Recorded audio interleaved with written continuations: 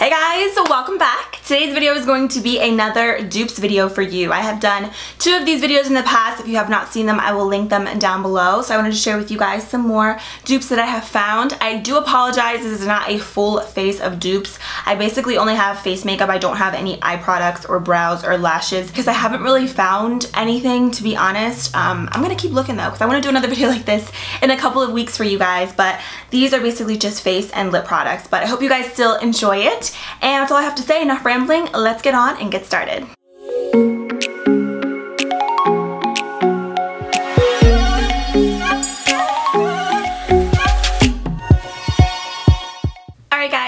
Let's just address the elephant in the room. As you can tell, my face is a lot lighter than my body, and that is because I don't self-tan my face, just because I do have sensitive skin, but we're gonna make it work with a darker foundation, so don't worry. So for today's video, my left side is going to be the high-end version, and the right side is going to be my drugstore version, so it's gonna kind of be opposite for you guys, so I'll put it on the screen, that way it doesn't get confusing. For the high-end side, I'm gonna start off with the Dr. Brandt Pores No More Pore Refiner Primer. I absolutely love this. I think this is one of the best pore filling primers that I do own. It's really nice because it has like this really lightweight formula so it's not going to be like greasy or anything on your skin but this specifically is only for pores so it's not going to mattify your skin or anything like that. Um, if you have oily skin you could use this in combination with a mattifying primer. If you have dry skin you can use this with a hydrating primer. You know what I mean? Like this is just strictly for pores. So I'm going to use about that much which is actually too much. I think this is good for like your entire face but obviously I'm just going to do half of my face but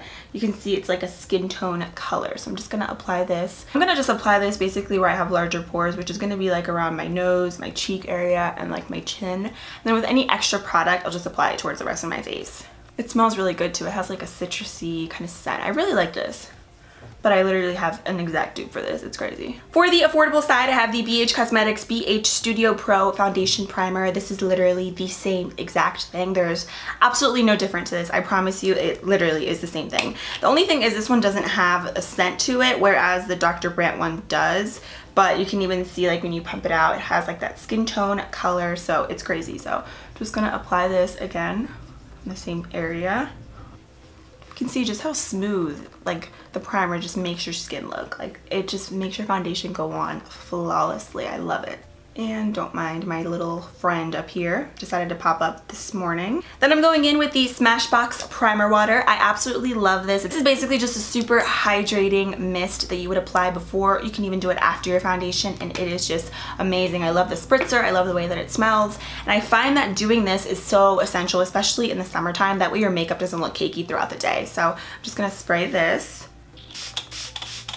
then for the drugstore side, I have the NYX First Base Primer Spray. This is one of my favorite primer sprays at the drugstore. This is not as hydrating as the Smashbox one, I will say, but it is pretty damn close for the price. I think it's awesome, and if you want a more affordable option, this is one of the best ones that I've ever tried. And even though this bottle is so small, I promise you get a lot of product in here, so I'm gonna do the same thing, obviously it feels really, really good as well. They both feel really nice. And the spritzer on this one is really good as well. It doesn't like shoot out, so it's not gonna like, you know, burst out on your face. It's like a really fine mist. I really love this. For the price, you can't beat it. Moving into foundation, I have the Makeup Forever Ultra HD. I have this one in the shade Y415. Hopefully this matches me. This is like my tan color. I feel like it's so hard to find foundations whenever I'm self-tanned, but hopefully I can make it work. I really love this foundation. I love the packaging, the fact that it comes with a pump. I think that's like an A plus in my book. The finish for me is very natural. It has like solid medium coverage. I think it's a beautiful foundation for the summertime because it's really lightweight even though you do get some decent coverage. So, and there are a lot of shades, which is a plus. So I'm gonna pump a little bit of this right on the back of my hand and I'm just gonna apply this. I do have some scarring, so you'll be able to see the coverage of it. I really hope this matches me. Remember, I'm matching my neck. So obviously this is not my foundation color like on my face, but I wanna match my neck and the rest of my body. I'm gonna be using my black beauty blender just to blend that out.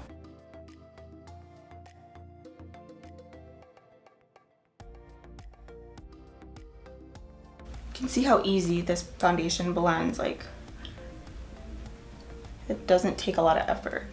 And for the other side, I have the LA Girl Pro Coverage HD Foundation. I absolutely love this. I feel like if you have this foundation, you really do not need the Makeup Forever one. I feel like this honestly gives me the same exact effect. The packaging is very similar. It's just, it's super, super similar. You can find this at Ulta. And I have two different shades right now. I'm not really sure if they're gonna match me. So I'm gonna mix 645 Nude Beige with a little bit of 647. And I'm going to be using my pink L'Oreal Beauty Blender sponge. This is the best beauty blender dupe that I have ever found yet at the drugstore. So bonus dupe in this video is this L'Oreal sponge is literally the same exact thing to me as the beauty blender. The only thing is it does rip very easily, so just be mindful of that if you have longer nails. Just be very gentle with it, but I think it's a great sponge. It just blends out my foundation flawlessly and it's really bouncy and squishy so I really like it.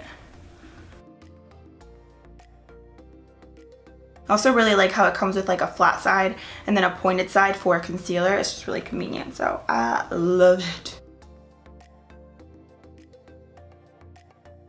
So this is what the foundation looks like. Again, this is the high-end side. This is the drugstore side. I know the colors are going to be different, but the actual formula, consistency, everything with the foundation is the same. So Makeup Forever does have a little bit more shade selections. They have different undertones than LA Girl, but honestly, I would go with the LA Girl one just because you're getting the same effect for a cheaper price. And the packaging is awesome for both, so definitely go with the LA Girl one. For concealer, for the high-end side, I have one of my all-time high-end favorites. This is the Tarte Shape Tape. I have two shades right now. I have light medium and medium. I'm gonna mix the two just because I don't really know what I'm doing right now, so I'm gonna just take a little bit of medium and just apply that right under there.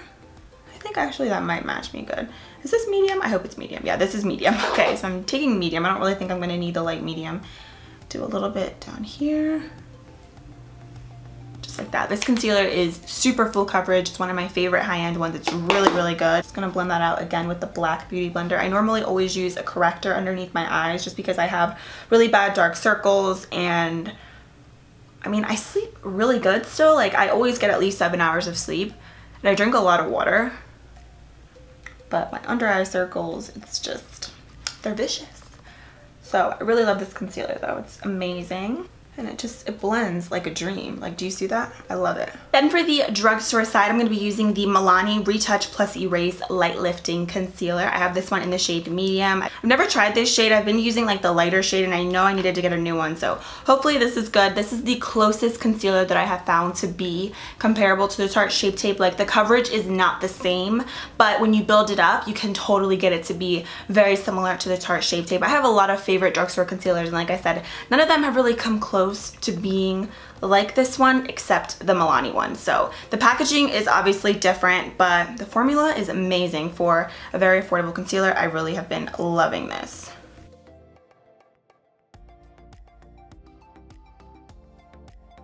Again, I'm going to use my L'Oreal sponge to blend that out. This one's actually a little bit lighter than the Tarte Shape Tape, so hopefully it works. They don't have that many shades in the Milani one like they do with the Tarte Shape Tape, but if you can find your shade, it's really good. They could maybe have more online, I'm not really sure. I always get my Milani products from Walmart, by the way. I'm going to use a little bit more of the Milani one just to, again, get it to be a little bit more of the same coverage as the Tarte Shape Tape. That's what I normally do, and I find that layering this concealer is never a problem for me. Like I never have any issues with it looking cakey. I always have fine lines underneath my eyes. That's just how my under eye area is. And no matter what concealer I use, high-end, drugstore, it always happens to me. Like, I mean, I've tried the baking thing. I've tried everything and different eye creams. It's just, that's how my under eye area is. It's always been that way. So don't mind the little fine lines, but regardless, the concealer is really good. So just to make these eyes look a little bit, a little bit similar, I'm gonna go in with the shade Light Medium and Tarte Shape Tape just in the inner corner of my eye a little bit, just because this area is so much lighter.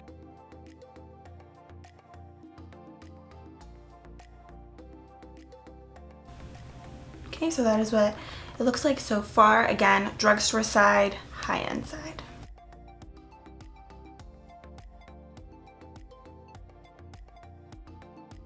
For the under eye area for the high-end side, I'm going with the Kat Von D Shade and Light Palette.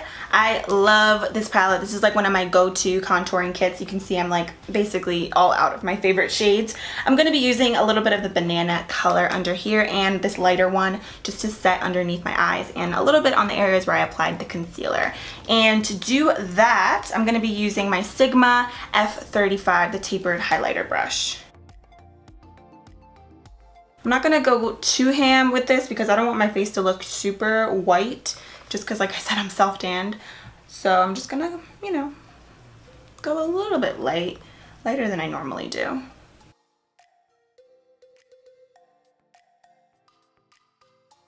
Then this is crazy I'm gonna go in with the Kokie Professional Powder and Contour Palette. You can get this brand at Walmart. It is new. I did a whole video like me testing out their products and look at this you guys. It literally looks the same exact as the Kat Von D that is what they both look like side by side. This one even gets a mirror, so I think that's awesome. I'm going to be using the banana color in here as well. A little bit of this peachy one as well, just to set underneath my eyes. And I'm going to use the Royal and Langnickel contour brush. You can get this brand at Walmart. I will say that the Kat Von D one is a little bit more like smooth, a little bit easier to blend. Like you have to be very light-handed with this palette, especially with the bronzers. But for the price, I mean, you can't go wrong, you know? Like, it's a really great palette for the price. I really like it. Ew! Then to go ahead and set like my cheeks and pretty much like the rest of the area where I didn't apply any concealer, I'm going to be using a little bit, a little bit, because this is not my shade, of the MAC Mineralized Skin Finish in the shade Light Plus. I know this is too light for me. So I'm going to literally dust it in here. I just wanted to include this powder because this is one of my favorite high-end powders and I've repurchased it so many times that now with the dupe that I found, I don't need to repurchase this anymore because it's literally the same exact thing. So I love this powder so much. I'm going to be using my Sigma Large Powder F30 literally just dusting it in there a little bit and just applying a tiny bit on my cheeks because I don't need any more light powder on my face. So love that. Then for the drugstore side, I also need a darker shade in this. I'm using the Wet n Wild Photo Focus Pressed Powder.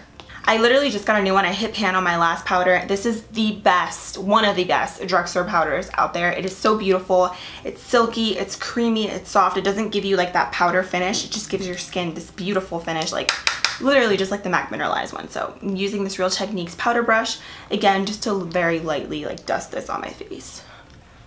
Typically I would probably use a little bit more, but like I said, I don't want to be like Casper on my face, so I'm just dusting it.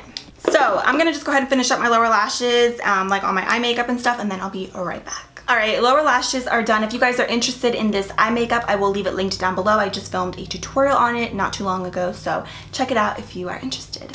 So moving on to the rest of the face, I have another contour kit dupe for you guys. So for the high-end side, I'm just going to use this to bronze my skin. This is the Anastasia Light to Medium Contour Kit.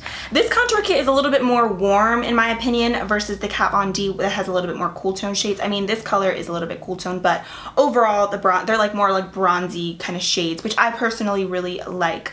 But we all know Anastasia, it's a really great contour kit. I really like this one. And I'm going to use, I was about to show you the dupe. Let me use it first. So I'm going to be using these two colors on the outer end just to bronze my face because I feel like I need a little bit extra color. So to do that, I'm going to use my favorite brush, which is the Up and Up brand brush from Target. I feel like when you bronze first and then contour, you get just more of a blended, natural look, like overall. So I'm gonna bronze first, and then I'm gonna go back with the Kat Von D one to contour.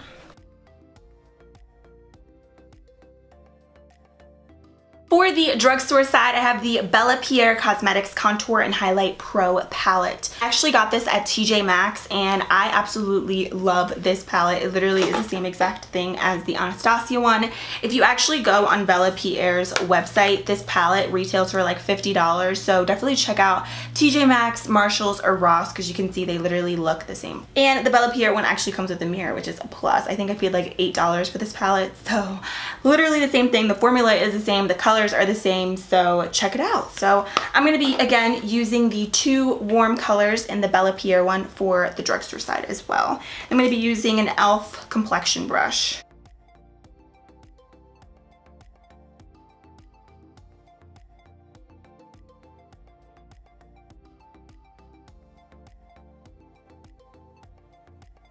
I already know I'm heavy-handed. Everybody tells me.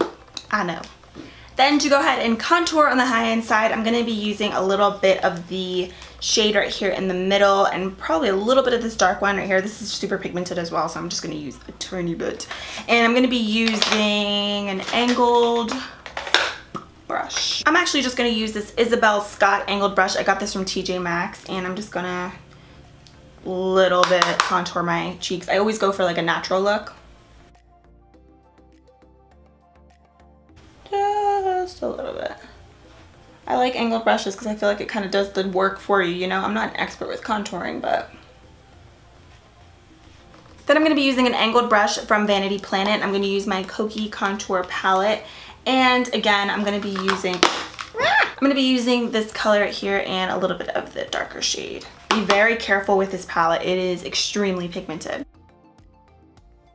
You just need to like a little bit. If not, it can be a little hard to blend if you like go in with too much product at a time and then go, no, don't do that. For the high-end blush, I have the Sephora Collection blush. This one is in the shade Peach Fusion. These blushes really aren't super expensive. You can even find them on sale a lot of the times, but I found an even cheaper alternative that I figured I would share with you guys. So I'm gonna just take this and I'm gonna use an e.l.f. stippling brush and I'm just gonna apply this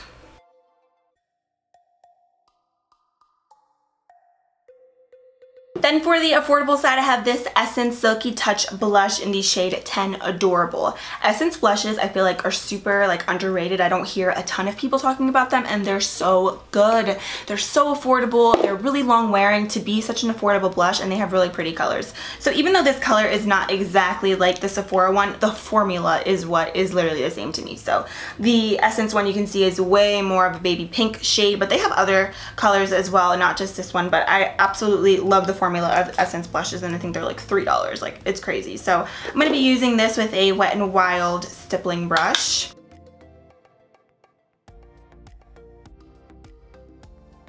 I think this blush, if you're like super fair skin, would be beautiful on you. because It's like the perfect pink color. It's not too pink and it's not too dark. For highlighter, I have the Makeup Forever Pro Fusion Highlighter. I have this one in the shade 02. This is one of my favorite high-end highlighters. This one is just like a really gorgeous gold. Like, oh, I'm obsessed with it. This is really intense, so if you don't like an intense glow, you're not gonna like it. So I'm gonna be using my Up and Up brand brush. This one is from Target. And I'm just gonna apply this right to the tops of my cheekbone.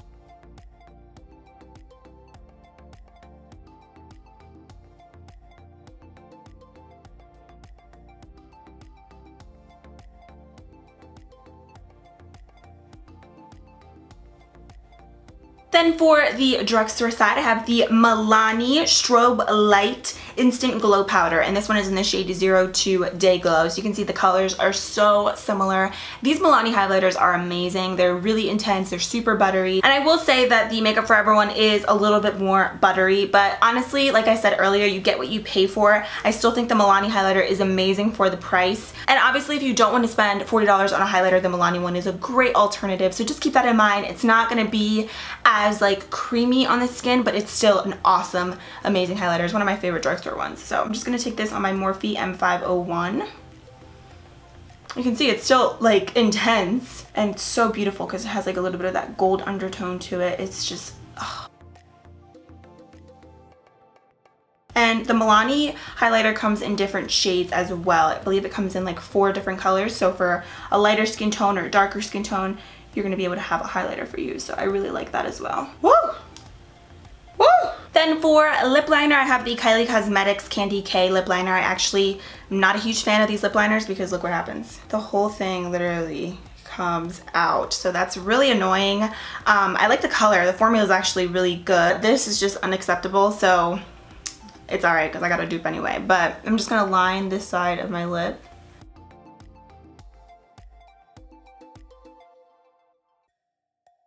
For the affordable side, I have the BH Cosmetics Waterproof Lip Liner in the shade Stripped. Packaging is very similar. This is what they both look like. The BH Cosmetics one, in my opinion, is better and you don't have that issue with it falling out. So, yeah.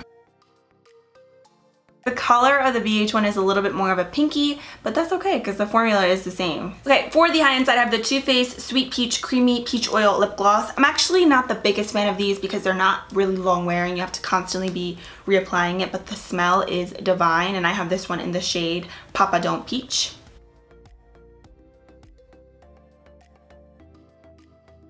For the affordable side, I have the NYX Butter Gloss in the shade Creme Brulee. I love NYX Butter Glosses. I think they're awesome for the price. And the more that I use this lip oil from Too Faced, I realize that these are literally just like the NYX ones. And there's so many different colors with the NYX Butter Glosses. So I'm just gonna apply this. These colors, again, are different, but the formulas are the same. I promise you. Like, go with the NYX butter glosses for real. Like they're amazing. Even the intense butter glosses are like divine. So I would check the affordable option out. Obviously the lips are a little bit different, but again, formulas. Alright guys, so that completes this video. I really hope you enjoyed it. Hopefully you found some dupes that you could add to your collection. Let me know down below of some dupes that you have for some more popular high-end makeup. If you guys want me to do another video like this, doing like the full face, like brows and eyes, lashes, everything, let me know down below in the comments and I will search for some more dupes. So I hope you guys enjoyed and I'll see you in a few days in my next video. Bye!